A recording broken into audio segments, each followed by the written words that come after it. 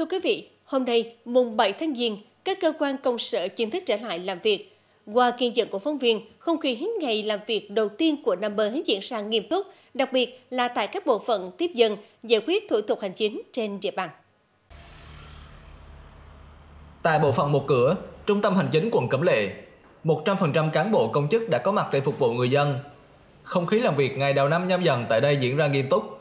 Thủ tục hành chính của các tổ chức, công dân đều được cán bộ công chức quận hướng dẫn tận tình và nhanh gọn. Có một công nhân viên chức của tổ một cửa của quận Cẩm Lệ thì à, bài vẽ tận tình và nhiệt tình chủ đáo của các nhân viên à, đến với những à, người dân đến khi à, lồn giấy tờ. Bộ phận một cửa thì không gặp mặt đầu năm, các bộ công chức là ngay từ 7 rưỡi là có mặt tại cơ quan và triển khai thực hiện nhiệm vụ ngay. Thì cho nên là về à, anh em cũng đã xác định tinh thần tức là làm việc ngay từ đầu năm để mà đảm bảo việc à, phục vụ công dân cũng như giải quyết hồ sơ thủ tục hành chính à, kịp thời cho công dân trong dịp đầu năm. Thì hiện nay thì nhìn chung thì trong sáng ngày đầu tiên đi làm lại thì công dân đến bộ phận một cửa thì cũng chưa nhiều, chủ yếu tập trung ở bộ phận căn cước công dân. Với tinh thần trách nhiệm ngay trong ngày làm việc đầu tiên của năm mới, các cán bộ, công chức viên chức trên địa bàn thành phố đều hăng hái thi đua, đạt quyết tâm cao trong công việc.